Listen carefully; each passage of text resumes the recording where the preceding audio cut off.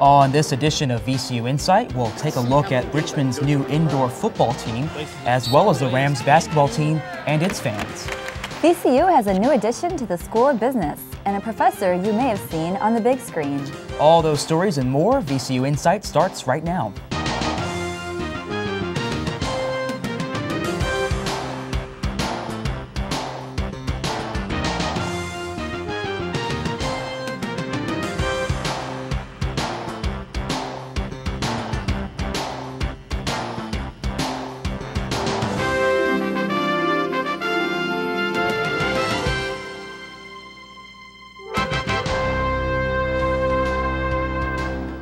And welcome to VCU Insight. I'm Agazi Dasihel. And I'm Derek Waller. Thanks for joining us.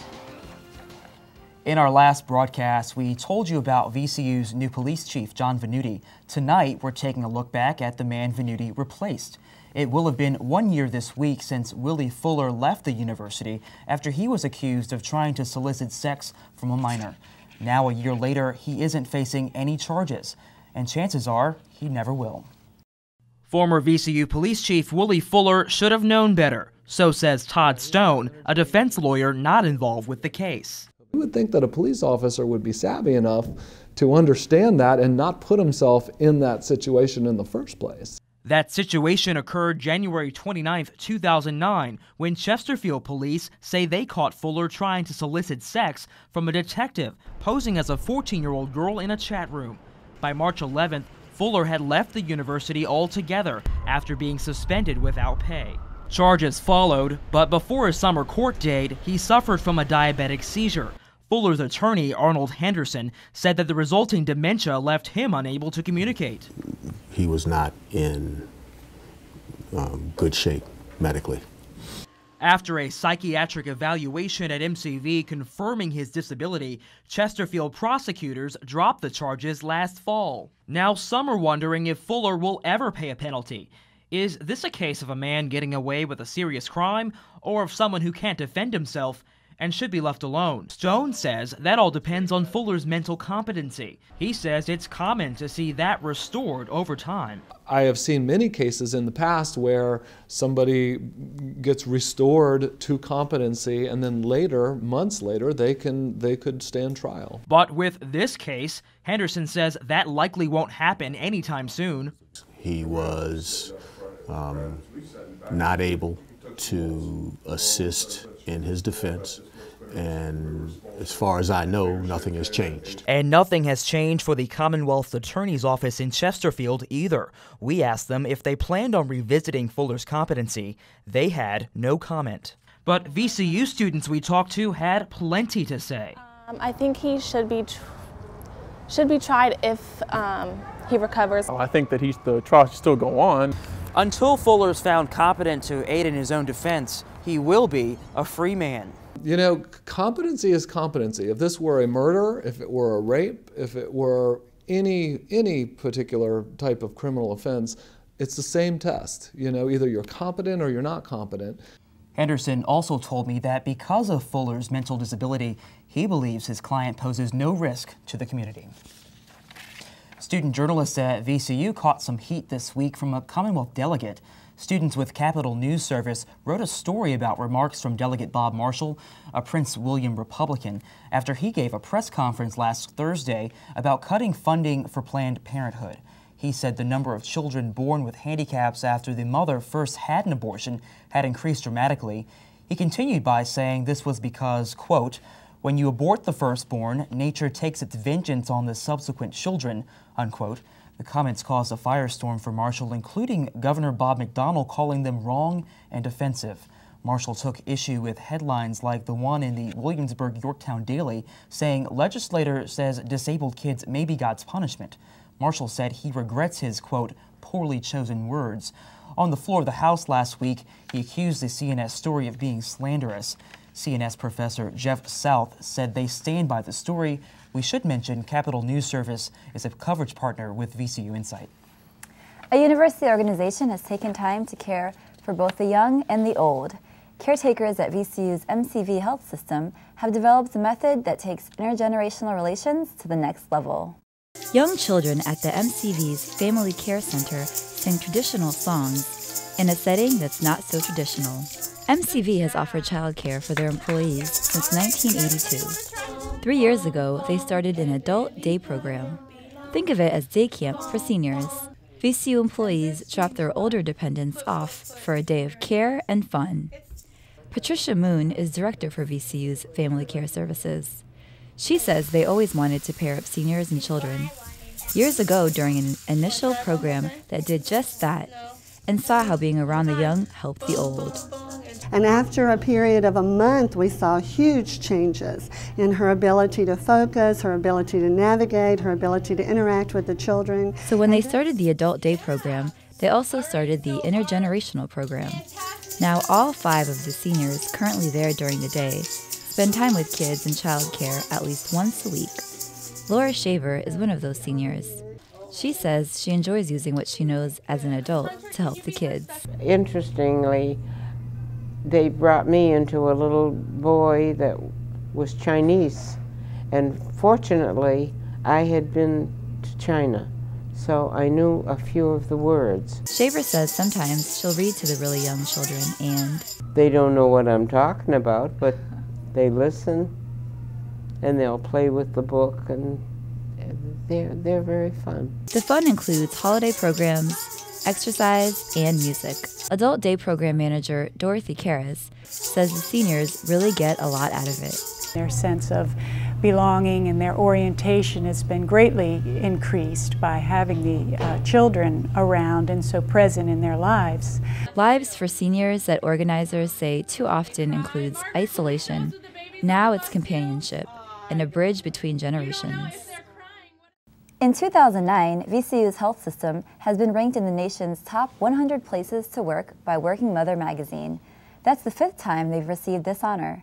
The only other school in Virginia that has an adult day program is Virginia Tech. For the third year in a row, VCU is participating against over 600 other universities nationwide in Recyclemania. It started this year on January 17th and runs to March 27th. The event encourages students, staff, and faculty to recycle as much as they can during this period.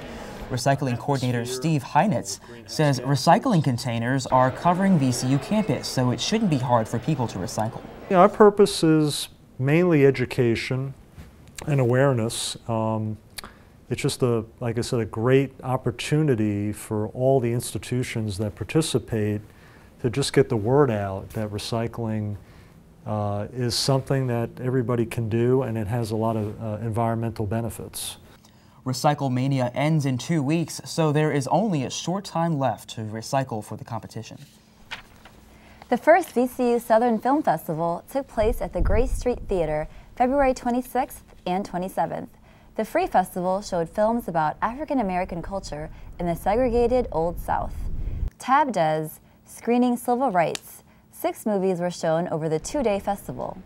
Films included influential black stars such as Sidney Poitier and Spike Lee. Organizer and keynote speaker Dr. Emily Raymond chose the films for the festival.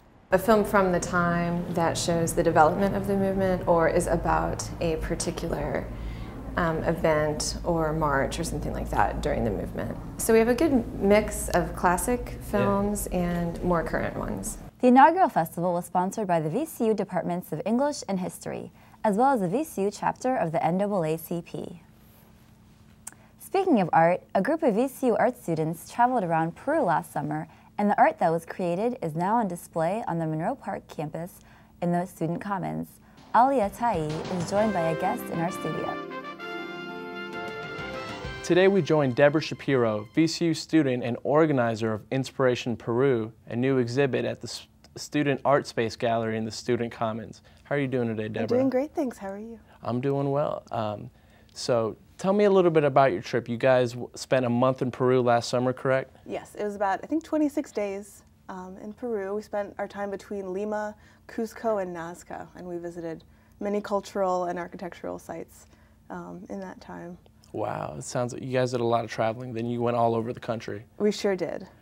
So tell me, what was one of the more, um, you know, from from what I've seen of the art, you guys are certainly inspired. What would you say inspired you the most about Peru? Uh, well, there were so many things there. There were um, the, the textiles there, the landscape, the combination of Incan and Spanish architecture. Um, the whole country was just so beautiful and colorful. Um, what we kept hearing about there was the flora and the fauna of Peru, um, mm the beautiful plant and animal life that we kept seeing. It's really a beautiful place. And would you say that was your main inspiration for wanting to set up the exhibit? Because from what I understand, you were the main organizer of the, the new exhibit. Mm -hmm. um, when we were in Peru, we're all students from the School of the Arts. We're all visual artists in one way or another. And we um, just thought it would be a really great thing for us to all be able to show together in one place, show the work that we made there, and show off um, the things that we made that were inspired by our trip. Okay, and uh, from what I understand, you guys are showing from the 1st till the 12th of March? That's right. And so, you know, for students that are interested in art, tell them what, what would they get out of coming and visiting the Inspiration Peru exhibit? Well, they'll be able to see um, work that we made in Peru and work that we made uh, since we came back that's inspired by the trip.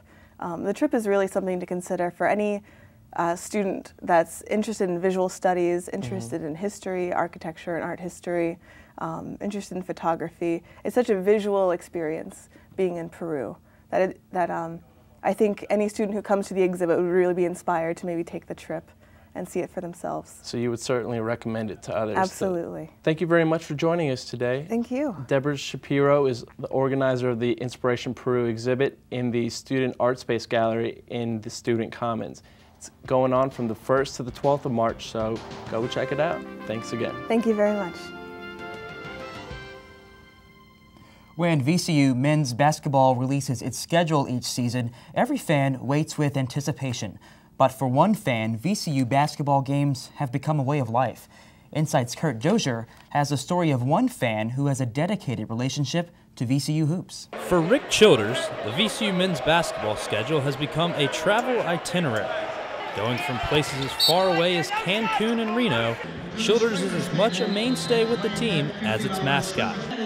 52 year old state police lieutenant Childers keeps a watchful eye on the dates. As soon as I get a schedule, I'm making little notes and sending my boss email saying, okay, I need this day and this day and this day and this day. Those days Childers uses adds up to a term that he simply calls the streak. The streak was never planned. It wasn't like we sat out and said, okay, let's see how many games I can go to in a row it's sort of you get up to about 70 or 80 and you all of a sudden say, whoa. Over the past 10 seasons, Rick Childers has never missed a game inside the Stuart C. Siegel Center for VCU men's basketball. The Rams have seen five different head coaches in that 10-year span. Childers has seen all of them. Childers attended every VCU contest of Ram all-time scoring leader Eric Maynor. Maynor graduated last year. Players now that remind me of him when he was a freshman. Watching these kids grow, I mean, you see that over and over again. Rick's wife Yvonne tries to make every game that Rick does.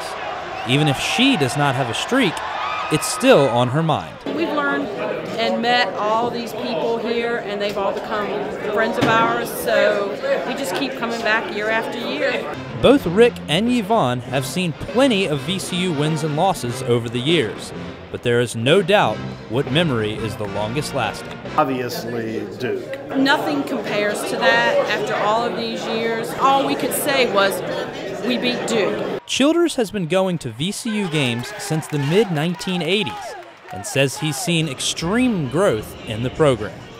That's part of the fun. I mean, I look so forward to coming to the Siegel Center and seeing those games where enthusiasm that it just sort of builds. Childers plans to retire next year, leaving more time for the VCU season. But will he ever stop going to Ram games? Nope, never. It's a great experience. As another VCU season draws to a close, Rick Childers' streak of 170 games remains secure. For VCU Insight, I'm Kurt Dozier. Childers will continue his streak this weekend at the CAA tournament, where the Rams hope to return to the NCAA tournament. He plans to attend every game. The VCU Chili's on the corner of Cary and Belvedere hosted its first question and answer session with men's basketball coach Shaka Smart on Tuesday, February 23rd. Fans were treated to a variety of free food and were given the opportunity to hear the coaches' thoughts on the season as well as ask their own questions. Rams play-by-play voice Robbie Robinson kicked off the discussion with Coach Smart, which was followed by a question and answer session with the fans. One popular topic was the stark difference between the Rams' exemplary home record and their mediocre record on the road. We've got a lot of guys that their emotional response to the fans in the Siegel Center is terrific. And I can I can tell you a couple of guys specifically that they're just different people. They're just they might as well have a different name when they're playing at home as opposed to when they're playing on the road. The Rams kick off the CAA tournament this weekend at the Richmond Coliseum. This past fall, Richmond didn't just get a new baseball team, they've also been introduced to a new indoor football team. The Richmond Raiders are bringing some local prospects the opportunity to play the game they love. Insight's Ali Atai has a preview of the upcoming season. For the players of the Richmond Raiders, football means more than just a paycheck. The Raiders joined the American Indoor Football Association as an expansion team in August of last year. The team's general manager, Jack Bowman, says that playing indoor football is about the love of the game. Compared to the NFL and stuff, this is really their opportunity to try to get a look by scouts and, and NFL coaches and, and, uh, and scouts. So it's more so for that than it is the money. It's more for the excitement of still being able to play and be seen. We met up with some of these promising players during an autograph signing. Many of these hopefuls have strong ties to our area. Andrew Wilcox is a native of Richmond and starred locally at Hermitage High School before earning an All-American selection in 2008 at Elon University. It's been four and a half years since I've kicked in Richmond since high school. So it's definitely fun to be back at home and kicking in home and in front of the high school crowd I used to kick back in back in the day. In his senior season at Elon, Wilcox led both the Southern Conference and FCS in field goals per game. He also ranked third in the league and 15th in the country in scoring. He even got some personal attention from a couple prominent NFL teams. I had individual workouts with New England and Indianapolis, and then at my pro day, every single NFL team was there to work out with me. So it, it was close, but you still got to work a little bit harder. Hard work, events manager Daniel Hamlet says, will be what the Raiders emphasize both on the field and in the community. This is an organization that is built for the community. It's built for those who would not have a chance to probably go see the Washington Redskins or the Baltimore um, Ravens or any of those NFL teams to play, that they can come and see this organization, that they can come and enjoy a fun, family-friendly atmosphere. With ticket sales as low as $10, the Richmond Raiders are ready to kick off their season. The team opens the regular season on March 13th against the Reading Express. Until then, the Raiders have their work cut out for them. For VCU Insight, I'm Ali Atai. Here's a list of the first three home games. The Reading Express is their first game on March 13th, followed by a home game on March 20th and another on April 3rd. Tickets can be purchased at the Coliseum or on the Richmond Raiders website. And VCU has a new School of Business dean after the retirement of Dr. Michael Sesnowitz. The appointment of the new dean went into effect on March 8th. Shondelise Duster is joined by a guest in our studio. I'm here with Dr. Peter Aiken, who is an associate professor for information systems, and he is also a member of the School of Business Dean Search Committee. Thank you, Dr. Aiken, for joining us today. Pleasure to be here. So, what is the selection process for prospective deans? So one of the things they want to do with the search committee process is make sure you have the various constituencies, both in the university and at the school, represented. Mm -hmm. We had people who were university employees, we had people who were staff members at the School of Business, we had faculty members, and we also had what we call our business community, our supporters in the business community who've helped us raise tens of millions of dollars to get that wonderful building we have down the street on the, on the thing. So those four people were, four groups of people were represented in there. Our charge was to recommend to the president and the provost three names. And they would be people who were fully qualified to be the dean, and then the, of course the president and the provost get to make the final decision on that. Well, I'm pretty sure that it was, this process was, you know, amazing because it's to my understanding that there were over 70 applicants. Correct. So how were you able to narrow it down to three people? it's a tough process. Uh, the actual procedure is that we look at all those 70 resumes. We also have the um, services of a search consultant who's been employed in the process as well, somebody who knows what a dean is and how to do the pre-screening of these people to bring them to us. So when we got these 70 names, we kind of looked them over and we said, what are certain things we're looking for in that? And one of the things we're looking to do is to distinguish ourselves. So somehow to differentiate ourselves from the rest of the pack. Because when there's a lot of people at that level, you got to have something that makes you stand out. So why did the search committee choose Ed Grier? What are some of his qualities? Well, go back a step. We actually recommended three candidates forward, but of the three, I can speak for myself personally, he was the one that I was most excited about.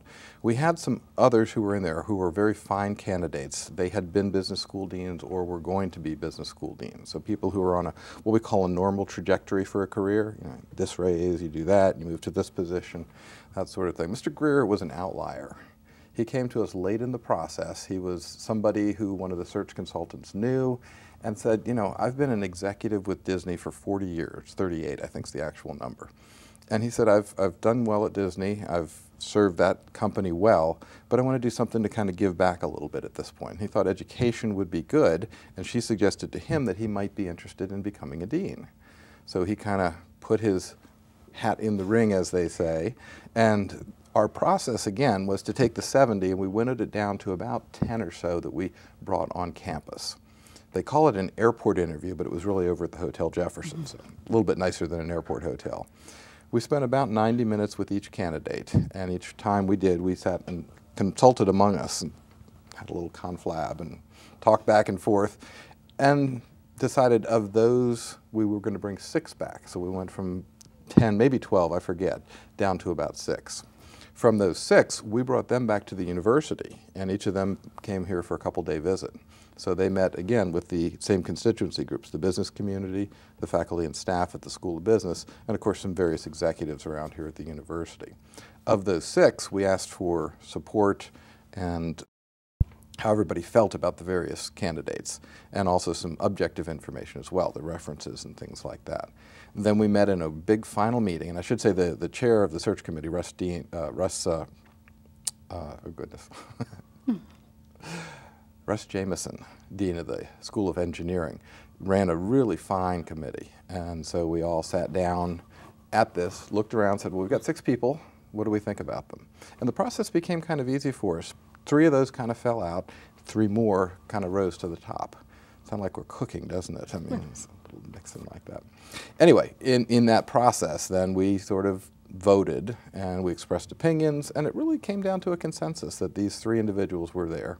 Again, speaking personally for myself, business is business. You really do have to know a little about it. Now, Mr. Grier's coming to us with some very exciting business experience. For example, he was uh, head of Disneyland in Japan, and Disneyland in Japan wasn't doing as well as it started out originally. So he's uh, managed to turn that particular business around really understands what's going on. And when you're a business leader, you learn a lot of things. And so he's bringing that knowledge to us.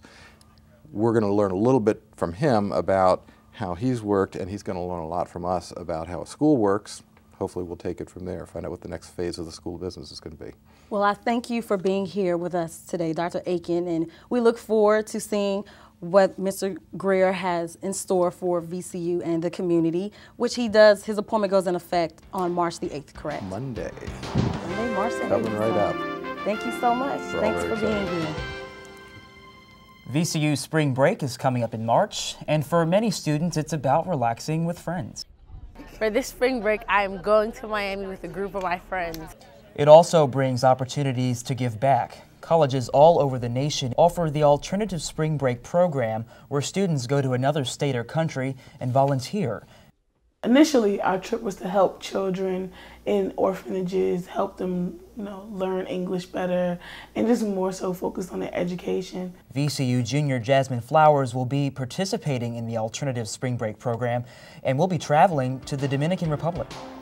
Here are some upcoming events in Richmond. Start your engines and head over to the Greater Richmond Convention Center for the 2010 Virginia Motor Trend International Auto Show. The show will be in town from March 12th to the 14th. Doors open at 10 a.m. Adults tickets are $9 and children under 6 get in for free. The outdoor St. Patrick's Day Festival, Shamrock the Block 2010, will be held at the 17th Street Farmers Market on March 13th from noon to 6 p.m. The event is expected to bring 20,000 people. Brush up on your Richmond history with the I Know Richmond The Bus Tour at the Valentine Richmond History Center on March 20th from 1 to 4 p.m. Take a bus tour of historical areas of Richmond, such as the James River, Court End, White House of the Confederacy, and many more sites. Tickets are $23 and reservations are required. You may or may not have heard of him, but undoubtedly you've seen the work of his hands on the silver screen. Phil Karstetter reports with the story of a unique professor and his unique career. At first glance, Matt Wallin seems like an ordinary assistant professor of art at VCU. But look again, he's in Star Wars.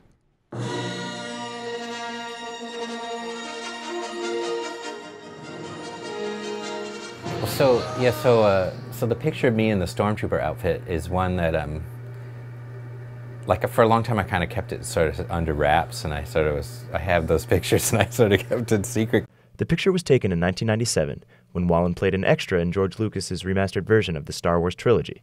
It was a dream come true for Wallin since the original Star Wars inspired him as a young child to become a visual effects artist for Hollywood.